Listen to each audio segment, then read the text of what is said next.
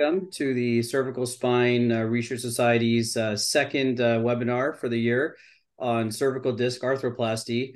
Uh, we're truly honored to have a, a, really a truly worldwide perspective on this topic. Um, and so thank you very much for joining. Connect with CSRS through uh, many of our social media platforms uh, shown here.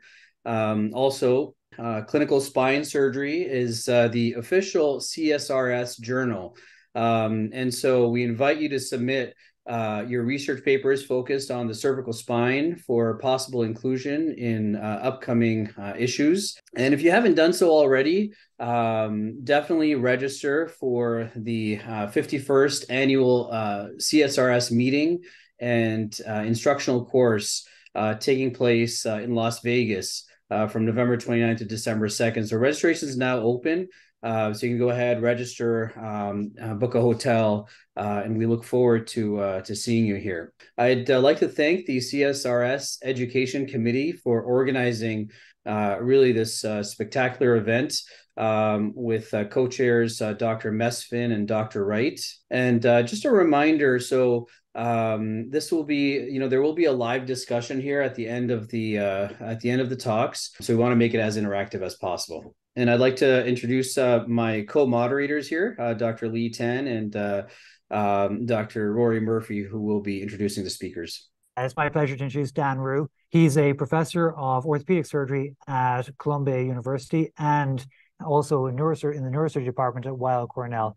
And I did my training in WashU, and I know we are always trying to emulate his technique and try and learn the best options and trying to figure out um, how he helped his patients. So I'm really looking forward to hearing um, Dan's uh, perspective on cervical arthroplasties uh, that we're going to hear now. Thank you very much. I'm going to talk about cervical disc arthroplasty, the North American perspective. These are my disclosures. I do get royalties on some fusion products and do own some stock in some companies that have artificial disc replacements. In North America, the number of cervical disc arthroplasties has been steadily increasing. If you take a look from 2018 on, there's been a gradual increase, a little dip during the pandemic, but then it has been gradually increasing since then. And we expect that the market is going to continue to grow for the cervical disc arthroplasty market, which is in the dark uh, color here. The light blue is the lumbar disc replacement. And a lot of this is driven by patient demand. Patients come in saying that they don't want a fusion operation, and also the data that shows really good outcomes with cervical disc arthroplasty. The indications in the United States in the initial FDA, Food and Drug Administration, investigational device exemption trials were for patients who had herniated discs, very mild spondylosis, and the levels had to be between C3 to C7. And this was mainly for patients who had radiculopathy although some patients with myelopathy were enrolled. Now, there are some arguments against doing arthroplasty for myelopathy because usually these patients have congenital stenosis, and such patients often are thought to do better with a fusion. Uh, Lali Sekhon was the first one to try it and report on uh, arthroplasty for myelopathy. He put in a Bryan arthroplasty device, and the patient uh, did well and continues to do well in long term follow up we published this study in 2008 that showed that arthroplasty is actually equivalent to arthrodesis for myelopathy. But there are some caveats. We looked at patients who had received the prestige of the Bryan arthroplasty in the FDA IDE trials, and all patients, whether they had the CDA or the ACDF, did quite well. But these are for patients who have only retrodiscal, in other words, the problems behind the disc and not behind the vertebral body. And they were patients who had just one uh, level uh, issues. Ding et al. Uh, did this study that was retrospective on 37 patients with arthroplasty and 39 with ACDF, and at two years found no difference in uh, patients that were treated uh, for cervical spondylotic myelopathy. Fabe also published the study that showed that uh, myelopathy patients uh, did fine and there was no difference between arthroplasty and arthrodesis. And uh, this study in Journal of Neurosurgery Spine in 2017 found the same thing. Again, uh, patients with myelopathy with less than or equal to three level disease uh, did fine with uh, a, either a hybrid or an ACDF. we published this study in 2018 that showed that, um, uh, again, with a large number of patients uh, and with long-term follow-up, whether patients had radiculopathy or myelopathy made no difference, that all groups did well with cervical disc arthroplasty. So as I said before, arthroplasty works if you decompress thoroughly, uh, you restore the height. There's no ossification of the posterior longitudinal ligament. It's a retrodiscal disease, and there's no ligamentum flavum hypertrophy, so that uh, you can do an adequate decompression uh, with just an anterior operation, and you don't have to go posteriorly to do the same thing. Less ideal is a person who has um, uh, a decreased disc height, um, along with myelopathy. Uh, this is a patient who you can see has retrolisthesis as well as a decreased disc height. Now, we may be able to restore some of that decreased disc height and, and therefore cure the retrolisthesis. And uh, with some artificial disc replacements having different heights, I think that can be done. Uh, but you have to be careful not to over distract the facet joints. Obvious contraindications are patients who have significant kyphosis, collapsed discs, uh, lots of facet arthrosis that are painful, um, ossifying diseases such as DISH or OPLL or ankylosing spondylitis are not good candidates, obviously, for an arthroplasty. And if you have severe osteoporosis, uh, for instance, if you had a 70 year old female who is postmenopausal, even if they look like they're good candidates otherwise, uh, you got to make sure that you get a DEXA scan uh, because if they have severe osteoporosis, that the arthroplasty device may collapse. If you have significant anterolisthesis, that usually is due to facet remodeling, and therefore uh, they are likely to have facet arthritis and uh, therefore are not a good candidate for an artificial disc replacement. The advantages of arthroplasty is um, one of the main advantages has been uh, motion preservation. But if you really think about it and look carefully, it's not a lot of motion that you're preserving. You're only preserving about five to nine degrees of up and down motion and six to nine degrees uh, six to nine millimeters of up and down motion, and about seven to eight degrees of left and right um, uh, motion. So it's not a lot per level, but I believe that the recovery has significant advantages. This is a shoulder surgeon, and three weeks post op, he said he golfed at Pebble Beach, and he said, I just hit this putt for par on the fame, famous 18 hole. No pain and feels great. And he was very thankful. And if I had done an ACDF, I would not have led him back to playing so early. This is a patient uh, who's a spine surgeon, and three days post op, he goes and lifts 61 kilograms, and uh, you can see that he has really returned to uh, activities right away. And in fact, uh, he actually went back to work, uh, I believe, the day after the operation. Um, and this is really important in uh, in athletes, high performance athletes. And there are a lot of unknowns with this, like how long will it last? Are there problems with with wear debris? Is it stable, and what are the outcomes? Well, I've done it in uh, a number of UFC fighters, one Olympic high jumper, Olympic class swimmer, and a baseball player. Uh, this was a UFC fighter who um, uh, he has his information online, so it's not a HIPAA violation but he had weakness and uh, he talks about it in this uh, youtube video about his artificial disc replacement that i did. And um, uh, he had uh, significant uh, weakness. We did the artificial disc replacement uh, for him and he returned to um, fighting a few months later um, after i had made sure that the artificial disc had bonded to the bone uh, this was a patient who's a high jumper, and again, this is uh, available in um, uh, lay uh, press, as you can see here in World Athletics, about his artificial disc replacement, and he's able to uh, return to high jumping after that. Um, and I've also operated on elite collegiate wrestler who was able to return to wrestling you can see the artificial disc replacement uh, there that I put in in 2021. Uh, this is Jack Eichel, who I consulted on, uh, but uh, he had his friend uh, uh, uh Prusmack do the operation, and he's returned to playing hockey at a professional level. And um, and this again was not done by me, but by done by Bob Bray, Tyler Johnson, who's a professional hockey player uh, had an arthroplasty and went back to uh, being able to play. Uh, we had planned on uh, doing an arthroplasty in this patient, but he actually ended up not needing it. And I've done it in patients who do jujitsu, karate, judo, wrestling, hockey, weightlifting, baseball, and softball, and and they've all been able to return to play.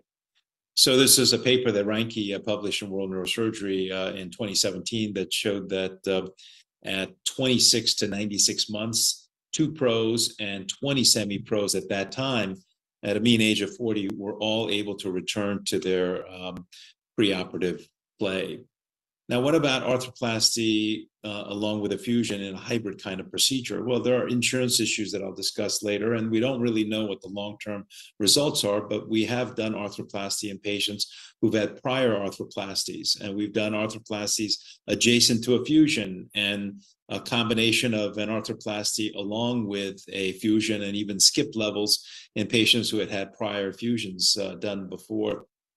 Um, you can do a hybrid either above or below uh, the prior fusion, but there are insurance issues. As you can see in North America, these are some of the most popular insurances. And Medicare, which is in the middle, they don't allow any hybrids and they don't allow anything other than one or two level arthroplasties with a virgin spine. But at the end uh, other end of the extreme, uh, Aetna will allow us to do a hybrid. We can do a subsequent uh, artificial disc after a patient has had a prior fusion.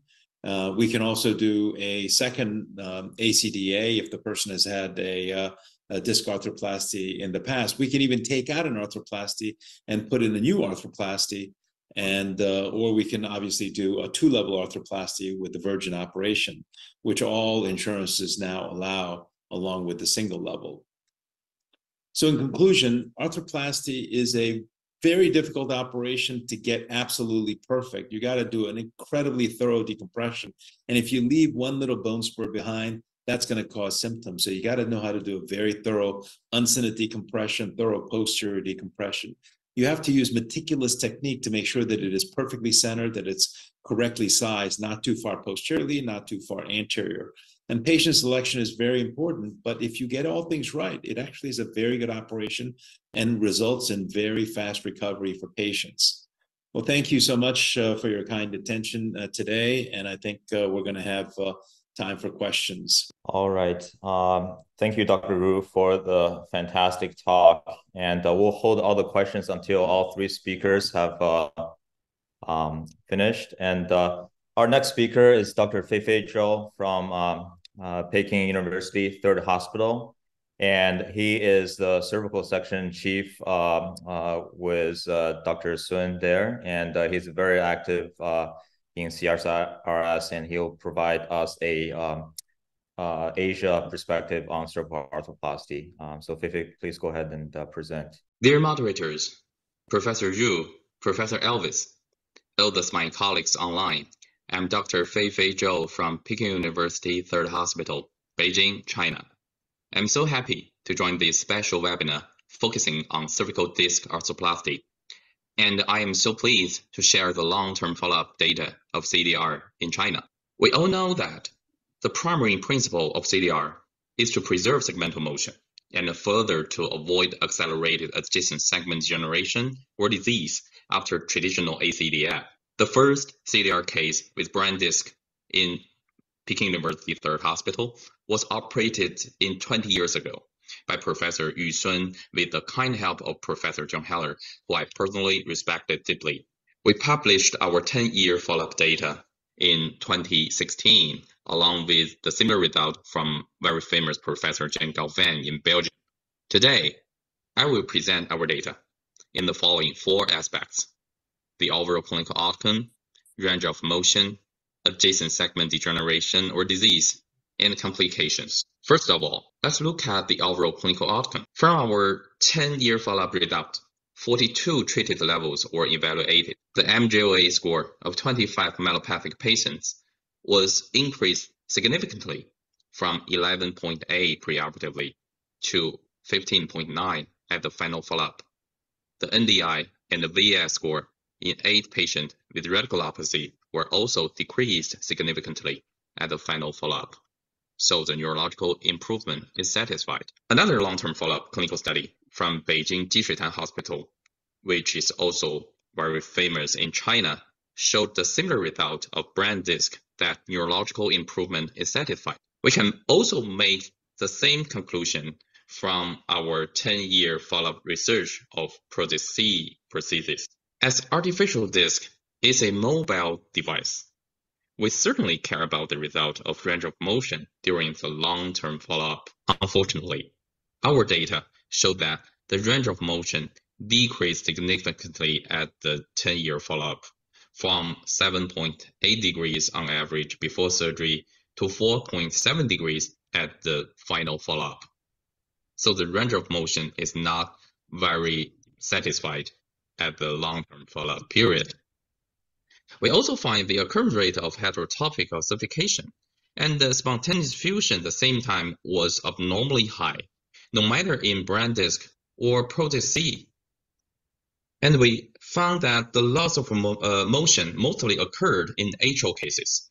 We can see the range of motion of atrial group was 2.6 degrees, and in non-atrial group, the range of motion was nearly normal uh, compared to nearly uh, bigger than the pre-op range of motion, which was 9.3 degrees. So atrial formation is the main reason of decreased range of motion after CDR. We mentioned that the philosophy of CDR is to prevent secondary degeneration of adjacent segment by means of motion preservation of the target segment. So the question is, have we achieved that? In our Bryan disc study, among 63 adjacent segments uh, were evaluated, 30 segments developed radiographical adjacent segment degeneration, and there was no recurrent radiculopathy or myelopathy due to adjacent segment disease. However, in our ProDisc-C study, 50% adjacent segment showed radiographical adjacent segment degeneration, and 3 out of 50 segment clinical adjacent segment pathology occurred and reoperated. Finally, we will discuss the long-term complication after CDR, which we mentioned earlier, the heterotopic ossification and the spontaneous fusion. This systematic review and meta-analysis included 38 related studies. 33 of them reported atrial, and 30 articles reported severe atrial after the surgery. This study distributed mainly in Asia and followed by Europe and North America. This article told us HO seems an inevitable complication after CDR. New HO did not develop too much, but the uh, progression of HO did not stop. And we can see the HO formation is no, uh, there's no difference between atrial formation between different kind of prostheses. We can see uh, active C group uh, compared to the Bryan group, the atrial occurrence rate and the spontaneous fusion rate were very high. And uh, we can see the same result happen in Bryan disc compared to the ProDisc-C. So there's no difference between different implant. And uh, there's also no difference between type, type of uh, cervical spondylosis, whatever the diagnosis before surgery is myelopathy or radiculopathy. What's more, atrial formation may cause loss of range of motion, resulting recurrent radiculopathic or myelopathic symptom at the adjacent level, or narrow the neural foramen and the cervical spine, uh, canal causing recurrent radiculopathy or myelopathy at the adjacent level. All of this above may increase the incidence of recurrent cervical DDD and reoperation rate. In our case series, there was no reoperation due to clinical adjacent pathology, and two patients were operated caused by progressive bone formation at the index level one patient suffered radicular arm pain, underwent uh, anterior bilateral uncus resection to decompress the neuroforamen, and another patient had new onset myelopathic symptom. So we removed the Bryan disc and uh, decompressed the uh, spinal cord and the nerve root about the new uh, osteophyte formation and then achieve segmental reconstruction and fusion use a titanium mesh. If we reviewed our annual CDR cases, we can see there is a sharp increase trend in the early five to six years and dropped quickly in the next five years. In the recent five years, the number of our uh, CDR cases maintained stable.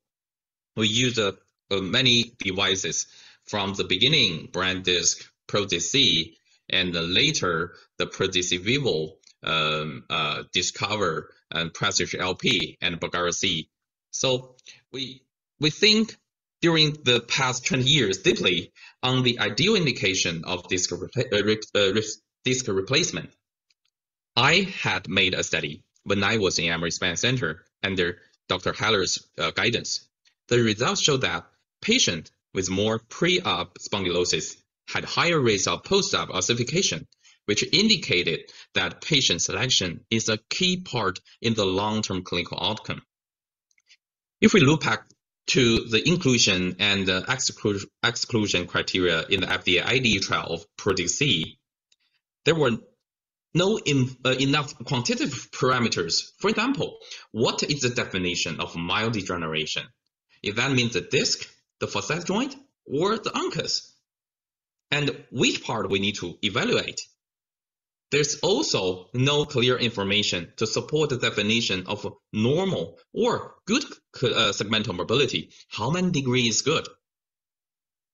So we did a quantitative analysis and noted that the nine-point pre-op degeneration scale in cervical spine used the X-ray uh, published in Eurospine uh, journal had a strong correlation to the long-term post-op atrial formation based on the cutoff value in disc head loss, anterior osteophyte formation, and end plate sclerosis, very mild degeneration of the target level should be considered at the ideal indication of CDR. So we can see the global market of motion preserving surgery is growing year by year. In China, from last year, the price cut policy may have a negative influence on CDR surgery in the next few years at the same time, the innovation of device is already in progress. There are different combinations of the material used in the end plate and artificial nucleus. For example, metal on metal and metal on polyethylene or ceramic on ceramic.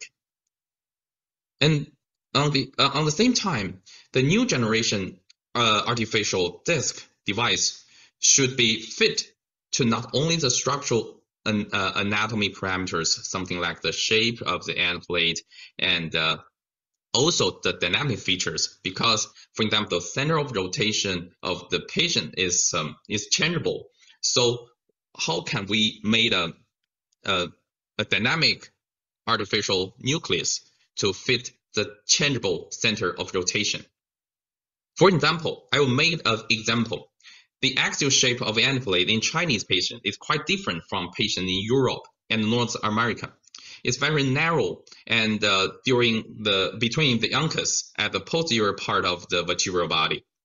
So spine surgeons in China have to erase part of the uncus to fit the current implant we use from Europe and uh, North America if we try to achieve the best end plate coverage to the artificial disc.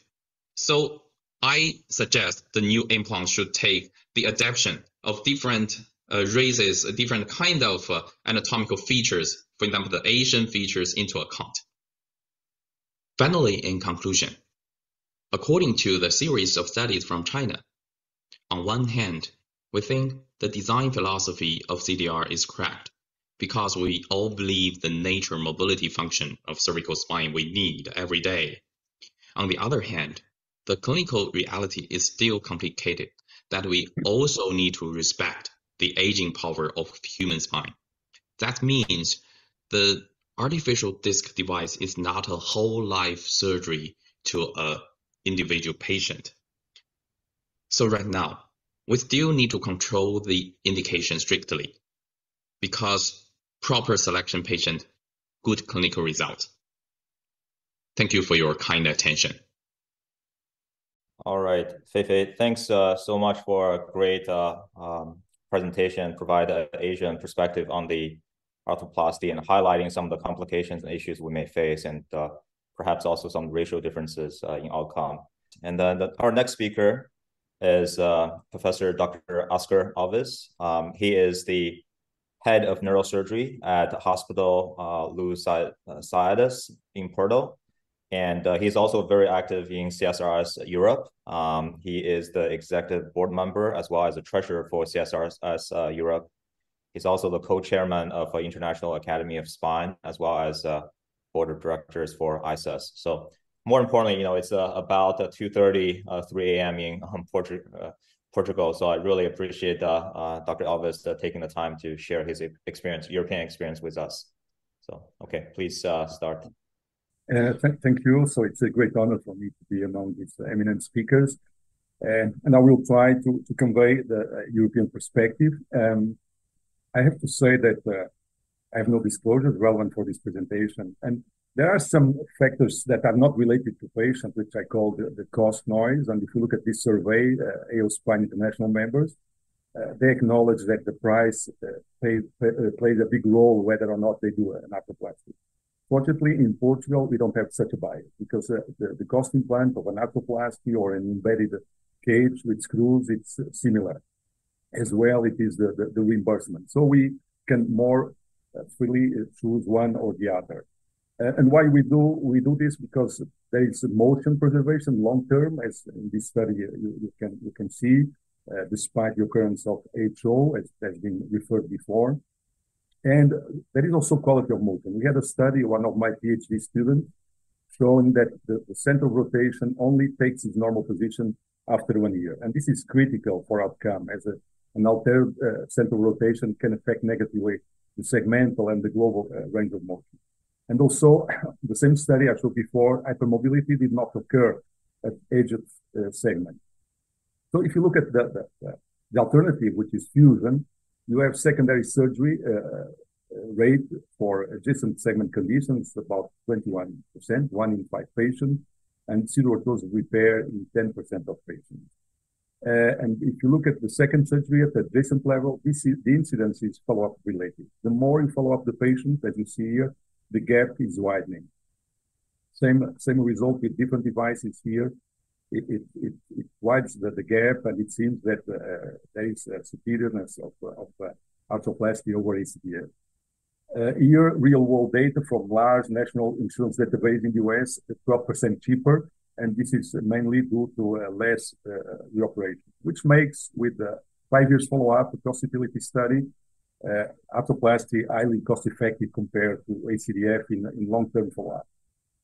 Although the, initial uh, overall uh, hospital costs are higher, uh, there is less reoperation, less complication rates, increased return to work rates, as Dan showed. So it's more cost effective over the lifetime of a patient. And this study assumes that there is a 20 years survival of the prosthesis. Cervical disc arthroplasty has been the most scrutinized entity in spine surgery, and we have you have very high quality data across different devices, long-term outcome, and showing, suggesting that even two levels are better than one level. And none of these were three generation devices. The one who present with translation, they are compressible, they present greater resistance to, to angular motion. And I believe due to the fact that the, the physiological location of the central rotation offloads passage and adjacent discs, you can have probably better results than uh, the literature shows with, with the first generation of devices. So we have preservation of range of motion, quality of motion, limit adjacent hypermobility, uh, and less uh, disease and reoperation. Do we have favorable uh, surgical outcomes? In order to validate this technique, we need to have some data on that. And sagittal imbalance is important because scaffolding and increased SVA leads to neck pain and progression of myelopathy. Um, we, among our earlier patients, we did a study with 35 patients. These were the levels operative, and we got significantly increase uh, uh, in lordosis at the index level and also and uh, global lordosis. And increase in global lordosis derived essentially from the increase of lordosis at the index level. one meta-analysis showed that the global alignment also favors arthroplasty. Sorry. And concerning adjacent levels, also moderate to high evidence that adjacent segments are more lordotic after ADR than ACDF. Uh, then also mentioned here that uh, index level kyphosis is a contraindication. So why why this happens? And basically this is based on the Kim paper that showed that only 30% of pre-op kyphotic index level became lordotic.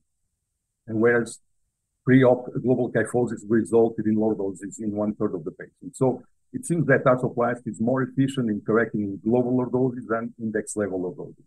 And there are many reasons for postoperative cervical kyphosis, like if you have pre-existing kyphosis, there's uh, absence of uh, structural lordosis in the implant, excessive neck position and extension, distraction, end plate over drilling, uh, loss of disc height, um, inappropriate insertion of the prosthesis, of course, the surgeon experience, and if you insert more posteriorly located, you can have the chances of having more kyphosis. Let me just show you an example of one of our patients, 30 years old female, uh, with, with a two-level disease, as you see here. Uh, there is no loss of this type, and the patient has uh, kyphosis of minus 13.2 degrees at 5.6. That was flexible, of course, but not fully reducible. You have some degree of kyphosis even in extension.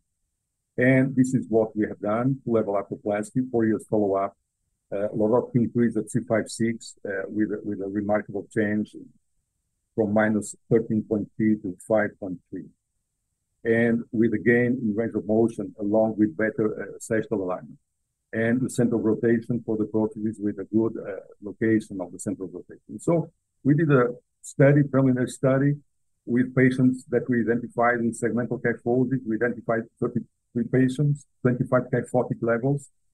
These were the distribution of operated levels. And in all patients that were kyphotic, they became lordotic, uh, as you see here with a significant P. And remember, in the Kim study, only 13% of those patients became lordotic.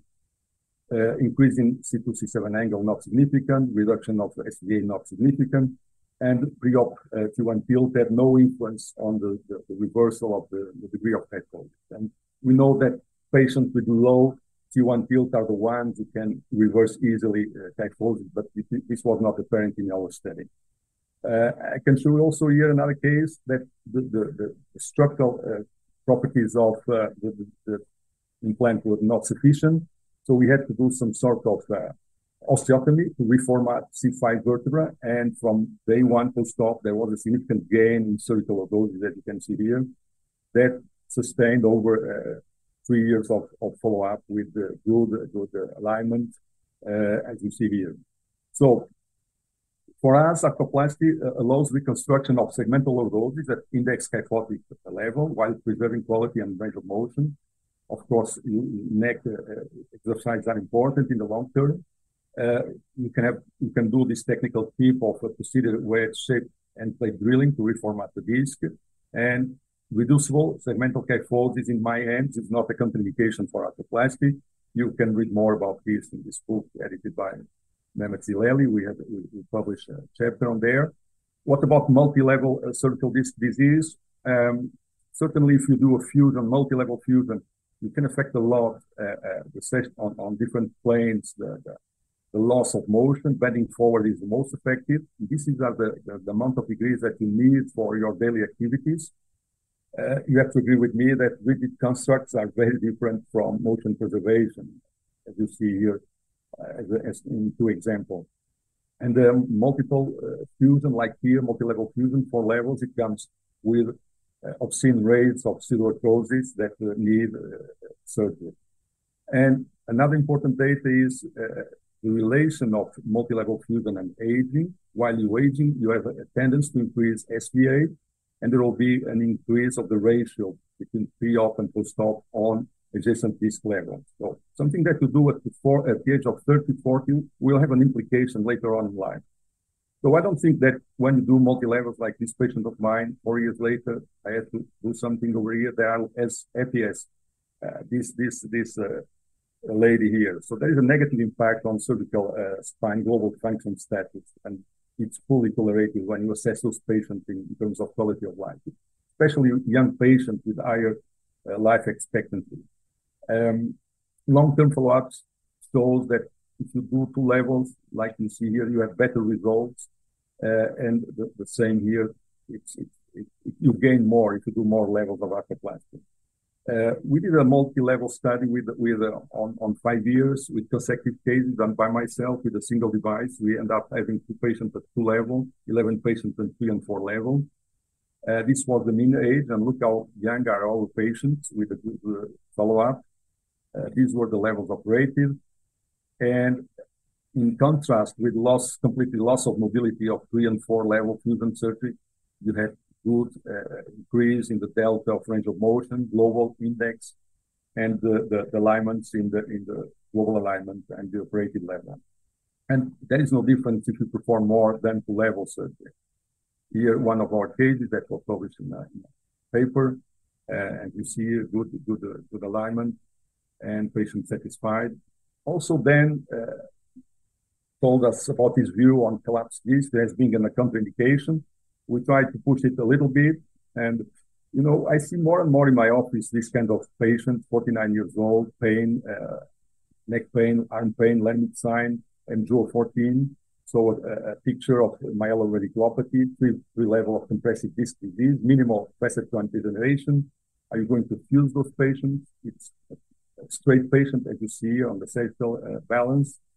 And this is what we end up doing to this patient. I don't use retractors to operate because this gives me a degree of freedom to go under the body and decompress. And this is the leverage maneuver I do at the end of the surgery to see if I see any movement, I'm available, I'm ready to insert a, a disc prosthesis. If not, I will do a case. So 48 months post-op, uh, look uh, how the disc height was increased uh, from 2.6 to 6.6 at the 4-5 level and also at the other level. Uh, also the nice alignment uh, in terms of sagittal alignment, and as you see here, the range of motion. So I believe that you are when you're facing patients with uh, moderate forms of myelopathy, you can offer a window of treatment to treat earlier those patients, achieving very good clinical results. And, and you see here, 48 months asymptomatic decompression was not compromised. Another patient, 48, 49 years old female, the official here in Portugal. This kind of picture that we, we see multi-level compressions and look how uh, dramatic the, the, increase height was. Uh, a case of a patient that uh, was operated in 2014, uh, ACDF on, on 656. Um, MRI show a decent segment at 4.5 and 6.7. This is the level that I operated in 2014 and see how collapse was the disc during the surgery. I was able to reformat the disc, insert a, a disc prosthesis, and with six, eight months of follow-up, we have this very nice result. Patient is happy and moving. Uh, so we did also study looking at our patients. We have more patients that we try to include in a, in a, in a bigger study.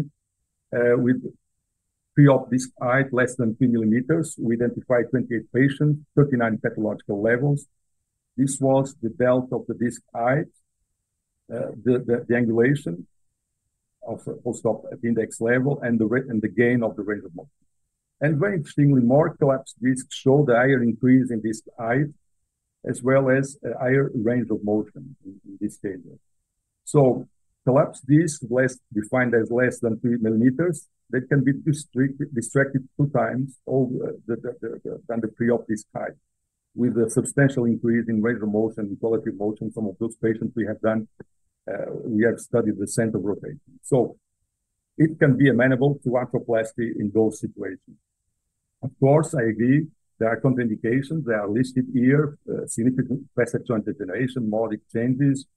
Uh, the spinal cord is too much compressed, large osteophytes on CT, or PLL, ankylosis, arthropathy, deformity, excess of motion, or osteoporosis, like then uh, told us, infection, usual uh, stuff. And I agree with, with, with our colleague from China that it's important patient selection and respect contraindications.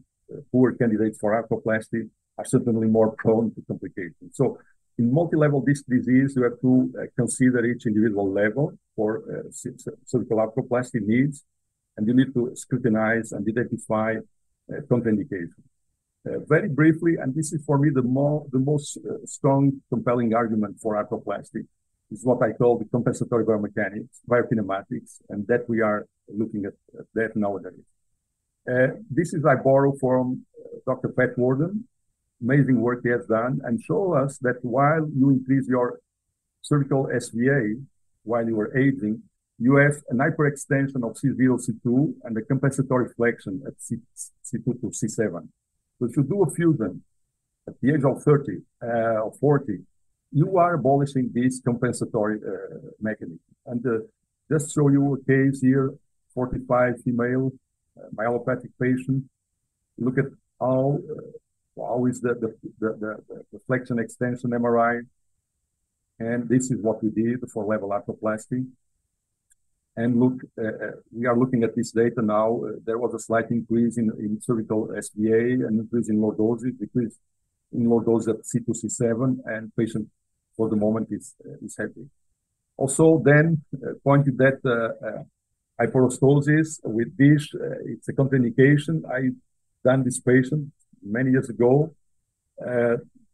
She had, she had two-level disc disease with this anterior osteophyte dysphagia I could remodel all this spine, insert an arthroplasty, uh, and seven years uh, follow-up. She's very happy, and we are looking at the different uh, um, over time. There was some loss of segmental lordosis, but this prosthesis was mobile. And over time, there was variation in C5-6 and 6-7 angles to adapt to, do, global alignment. Another case here, two-level disease. And you see good range of motion coupled with positive sagittal balance and uh, eight years follow-up, some sort of uh, uh that uh, uh, compensatory mechanism going on. Um, so if you want to read more about our expanding indications, we have published uh, this this chapter. I've also published in 2021 on neurosurgical clinics in North America, the expanding education. And I thank you so much for listening to me. Thank you. All right. Thank you, Dr. Alves. That's a fantastic talk. And uh, thanks for providing a European perspective. So I think we can open up for the discussion, right? Uh, Maria, can you let uh, everybody unmute and perhaps we can start. Uh... There we go. Okay. Um, well, Dr. Alves, I have a, a quick question um, for you. So I think, you know, obviously you showed a, a lot of amazing cases and some of the cases, you know, I, I would say in the US, um, we would uh, probably say the, the patient, you know, that it, it has some contraindication uh, and may not be the best candidate for it, especially, you know, in this patient with kyphosis and collapsed um, this space. Is there any tips and tricks that uh, you can offer the audience? Uh, how do you actually um, open up the uh, this space um, and uh, you know, do you encounter any, you know, kind of stretching of the, uh, you know, sometimes you over distract the facet patient can have pain. Do they report transient pain post up from that? Um, and also, you know, how do you avoid HO? Um, you know, our Dr. Zhou from China, you know, presented a pretty high incidence uh, of HO in the Chinese population. Do you have a specific uh, sort of a post-op protocol you follow with NSAIDs or um, Celebrex, whatnot? Um, uh, what what are your protocol for for those uh, great results? I mean, starting from uh, the last question, we, we certainly have less HO than the data that was shown. And I'm convinced from our data that the most important is the end plate coverage. The more end plate coverage you have, the less HO. That's definitely the most important thing. Uh, and then, of course, uh, you need to uh, remove the OPLL, the, posterior ligament, which for me has several advantages. You know, you can go behind, look at if there is any disc fragment. That's the only way you can decompress osteophyte because you cannot go between the, the, the, bone and, and the ligament. You have to go underneath the ligament. And the ligament itself is like a scaffold for ossification. So all my patients, I take the ligament. If you, by taking the ligament, it's it, you don't you don't lose too much stability. That's known. Um, of course, irrigation and anteriorly, I always seal the interface between the, the, the, the end plate and, and the and the plate and the, the end plate of the prosthesis with bone wax. Uh, this is really the tips and tricks that I use. Okay. Uh, regarding your first question, I, I just uh, shared the, the then uh, view because uh, this is a very demanding surgery in terms of decompression. If you you have to go beyond the anatomical decompression, you have to do some functional decompression because if you leave something behind in the extremes of lateral bending, there will be some impinging of the nerve and recurrence of, of symptoms. So you, one, you have to be very careful. So just spread a little bit more laterally. And then when it comes to reconstruction, uh, try to use the bigger prosthesis that you can and always center it to have best biokinematic results. It would be my, let's say, first indication and first advice. Um, a question, uh, thank you, Oscar. And uh, a question to all of you, Feifei, Oscar, and Dan. I think you all touched upon the importance of the center rotation. Um, do you have any tricks or techniques to maybe help identify uh, the optimal place for a central rotation when you're placing your implant? Now, I know all implants are slightly different. I think they're all somewhat comparable, but in a patient where you may have an option of placing the implant in a di different location on the end plate, how do you pick the optimal area for central rotation? Any tricks there?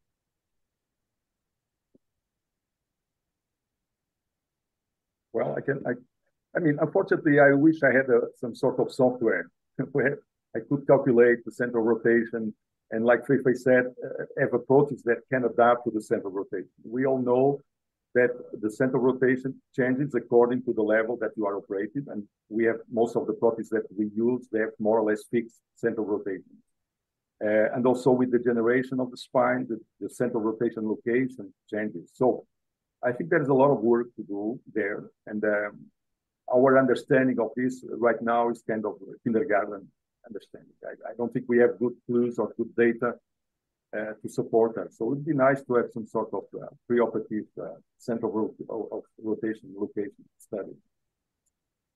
So I think the most important thing is to get the disc as far back as you can. Uh, one of the biggest mistakes that people make when they start doing arthroplasty is that they put it way too anteriorly and they undersize it. So you want to fill the disc as much as you can from front to back. And um, and if you're limited in your size because you have a huge patient, you want to get it as far back as you can. Now, there are some discs that uh, you don't do any end plate prep and you put it in that fits the concavity of uh, uh, the inferior end plate of the cranial level. And uh, for those, you just want to get it as large a prosthesis as possible to fit properly. If you're planing off the end plate, then it's much more important uh, that you fill it from front to back. Um, but uh, the largest prosthesis that uh, fits in uh, in the disc is, I think, the best way to go about it. Yes, for me, I think uh, the center of rotation was divided um, different design principles uh, into different prostheses. So they may design for the different center of rotation uh, for the different levels of the cervical spine. So intraoperatively, as Professor Yu mentioned that we need to uh, complete the the best footprint, the coverage of the end plate of the cervical spine, the disc space, and uh, we may just um, cannot achieve the ideal uh, central rotation dynamically according to the uh, physiological uh, situation before the surgery. So we may uh, do some uh, work to achieve the intra-operative measurement to assess the best central rotation of the index level. Great. And I think we have a couple of questions from our audience regarding. Uh, the first one is from Dr. Patrick McNulty, and he's wondering if, you know, what's your protocol on the medication to prevent bony ingrowth after um, cervical arthroplasty? And the second one is from Dr. Ram uh, Mudiam. Um, you know, does use of the high-speed burr increase the risk of HRO? What, what, what are your uh, perspectives on those two questions. Maybe uh, Dr. Riew, you can start, followed by Dr. Zhou and uh, Dr. Alves. Sure. I don't use any chemoprophylaxis uh, with NSAIDs. I never did, and I didn't find much of a difference. I do think that it's not the high speed burr, it's the fact that if you leave bone dust behind, Oscar mentioned it earlier. Uh, I irrigate with a, a large uh, bulb irrigator as well as a 20 cc syringe irrigator the syringe irrigator, I call it high pressure, low volume. And the bulb irrigator, I call it high volume, low pressure. And I, I wash all the bone dust out until it's completely, uh, until under the microscope, I don't see any bony uh, uh, dust fragments. And then, um, like uh, Oscar, I put bone wax on the surfaces. So I strip the periosteum off of the cranial and caudal anterior vertebra. I take down the posterior longitudinal ligament completely. I uh, cauterize the ends of those because uh, I think they're traction spurs in the back, and anteriorly it's the irritation of the uh, periosteum that incites the bone formation. So by completely uh, using a uh, monopolar electrocautery to burn the anterior periosteum off and then bone waxing it, I think we can see lower rates of um, heterotopic ossification.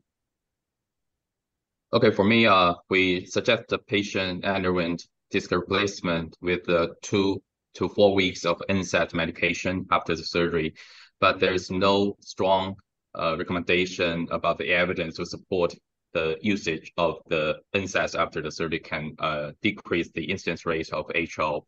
And uh, intraoperatively, I uh, fully uh, uh, agreed with uh, Professor Zhu's mention that about the irrigation and the bone wax. Thank you.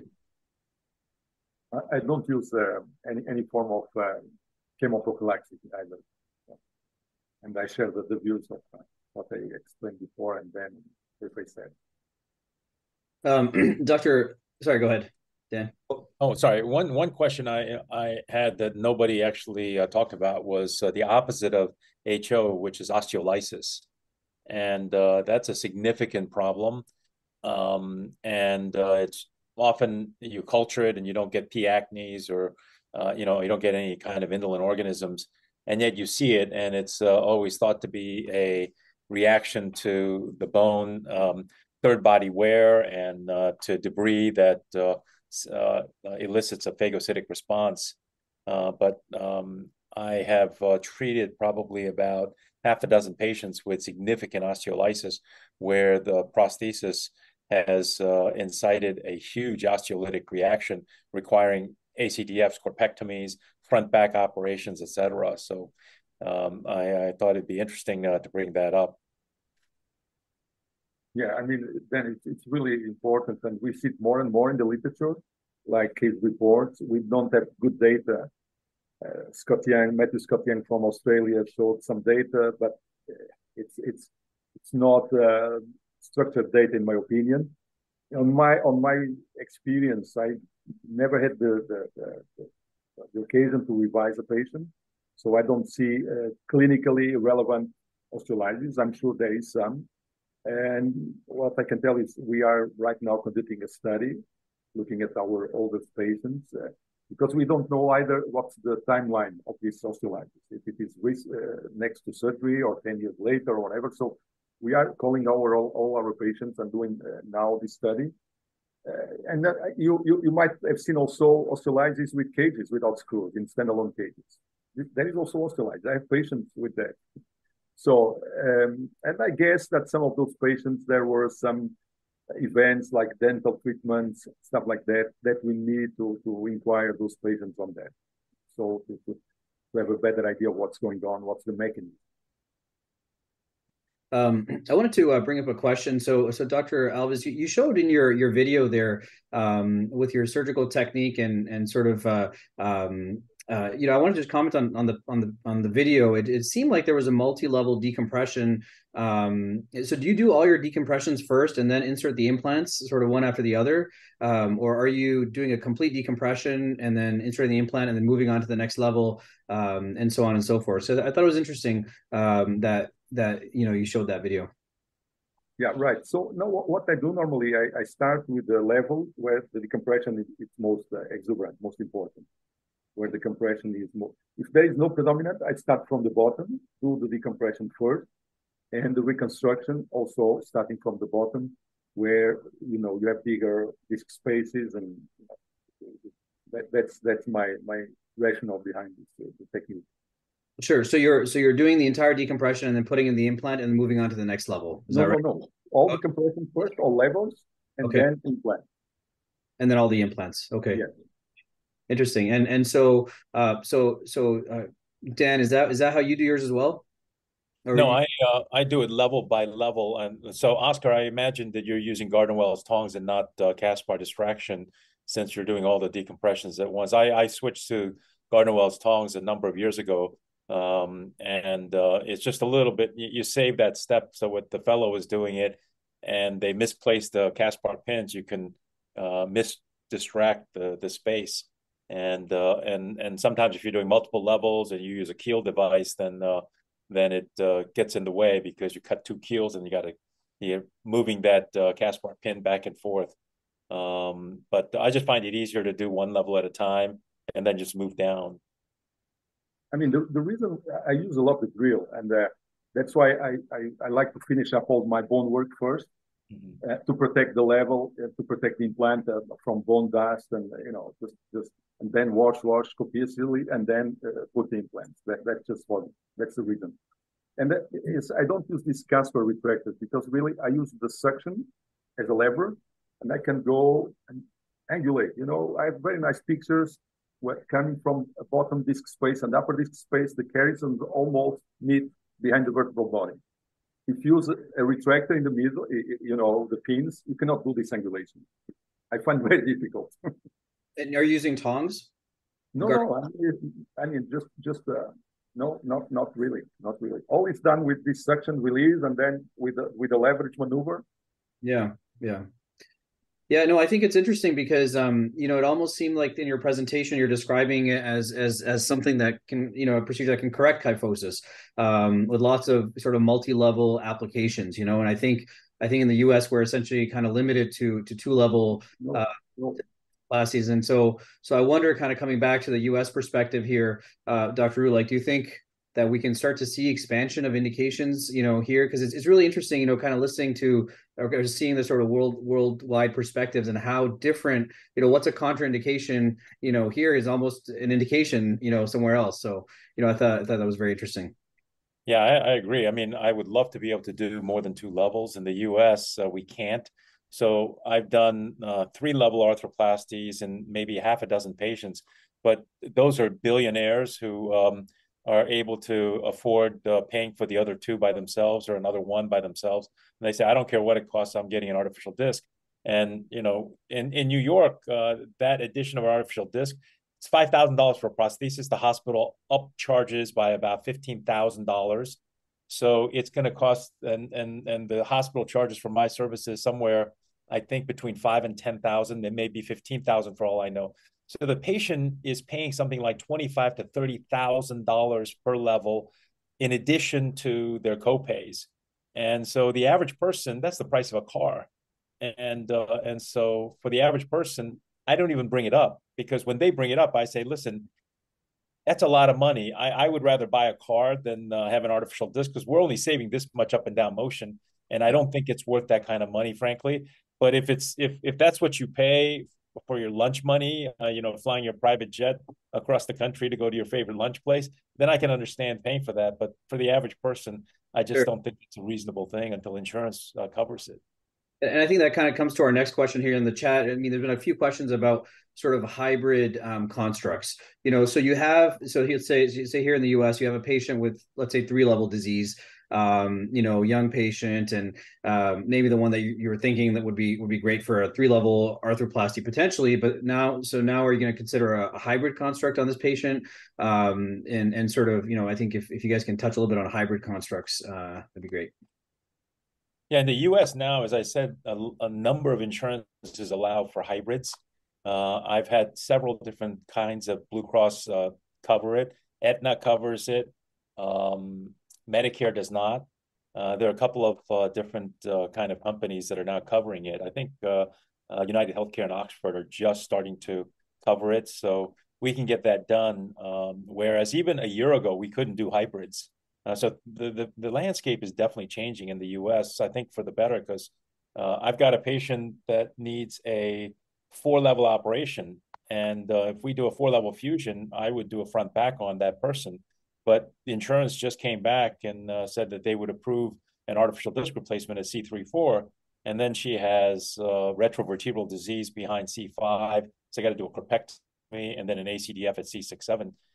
None of the insurances in the United States allow for a skip. So you can't do C3-4 and C6-7 and do a fusion in between, which would be nice to do also. So I've done those, but again, it's when the patient is paid out of pocket.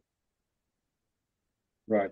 So, you know, most of what I showed them, it, it relates what you said before. It's, uh, I'm, it's really a privilege here in, in Europe and Portugal where uh, this prosthesis is almost the same price as a cage with embedded screws. So I have no disc cost bias. I get the same money for the surgery, so I can honestly offer one or the other.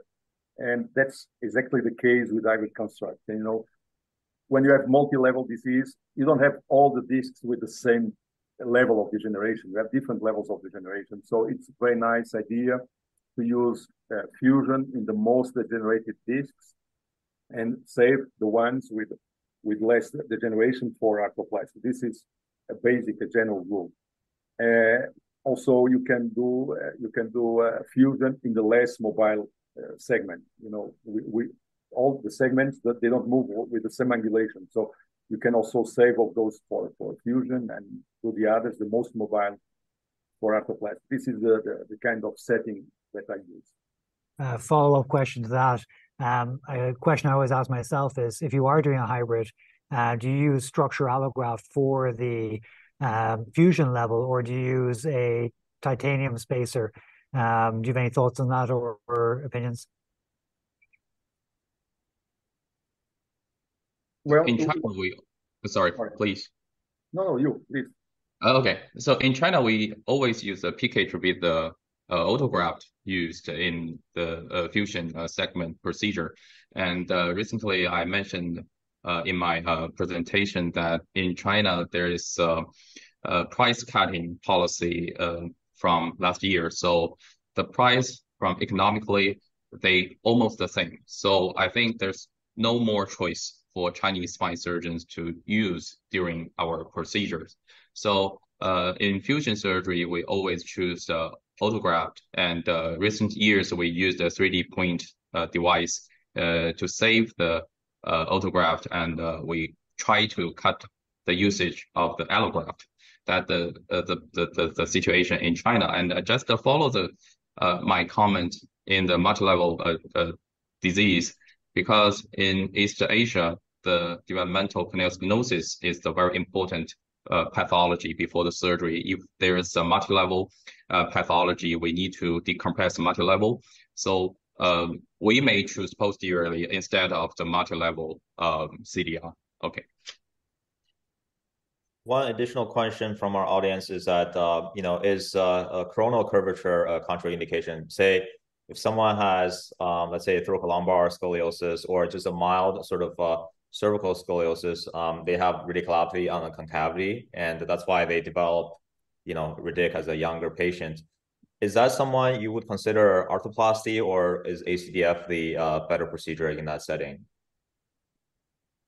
Yeah, I don't have any experience doing severe coronal deformities uh, with arthroplasties because uh, all of those were contraindicated in the original FDA IDE trials.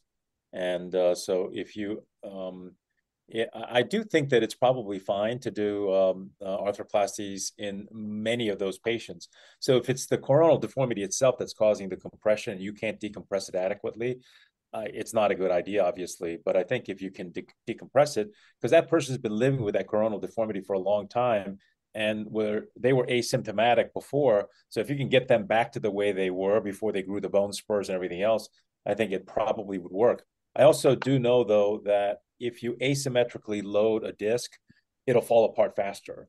Um, and uh, there are examples of revision cases in the US where the surgeon puts the arthroplasty way over on one side, or they you know angulate it so that on the coronal plane it's like this to begin with, and they wear out. And uh, so they wear out faster. So I think there are some concerns with um, long-term viability in that population but um, I don't have the experience to be able to tell you whether it's a great idea or not. Okay, great. Well, uh, I, I, have no experience with scoliosis. I would not advise it unless in the very exceptional case that the scoliosis comes from an asymmetrical disc degeneration that you can somehow reformat with with your discectomy and your, your bone work and that you could reformat on, on very nice and parallel end plates. But otherwise, I, I would not advise it. Yes, I also personally disagree with the usage of the disc replacement in the um, coronal imbalance uh, case. And uh, also, I don't think the implant defined for this kind of indication. And uh, I think, you know, uh, maybe we'll take one last question from audience, uh, given the time. Um, Dr. Andre uh, who um, visited Dr. Riew when I was a fellow uh, in Columbia. He asked, he has a question for you, Dr. Alves. So he said that in Italy, the uh, ACDF and the arthroplasty are reimbursed the same, you know, uh, same as in Portugal. Therefore, hospital seems to pressure the surgeons to do ACDF instead because then, you know, there it's cost less to the hospital. He wonders that is it the same um, in Portugal, and how do you deal with that pressure from the hospital administration? Right. No, I mean the, the surgeon reimbursement is really the same. If You do an arthroplasty or diffusion, which I don't think is the case in the US, right? You, you guys get less money for for arthroplasty. Um, I, I think what he's saying is that the no, hospital. I know, I know, I know. Yeah, money. right. No, I, I mean it's it's really very small difference of money that from arthroplasty implant or, or cage with with the embedded screws. It's it's really marginal difference. So we are not really pressed with that. So for Andrea, you're saying use more expensive ACDF implants, therefore they'll improve the. Yeah. I mean that's why I could do all this kind of work. Yeah. because we are not a rich country here, so uh, that's why I could push the limits and expand the indications because it was really not more expensive than usual usual cage with with screws. Okay, great. All right. Well, I, I think we're uh, right on time. So, um, thank you everyone for you know giving us a, such a great perspective, uh, uh, global perspective. Uh, any last words, Rory and uh, Ilyas? No, I think we're really fortunate to have uh, uh, such a, a world a worldwide perspective and global pa- panel here. Uh, look forward to seeing everybody at uh, CSRS in uh, Las Vegas meeting. Thank you. Great. Thank you. Okay. Have a good night. Thank you. Thank you, everyone. Bye. Bye. Bye.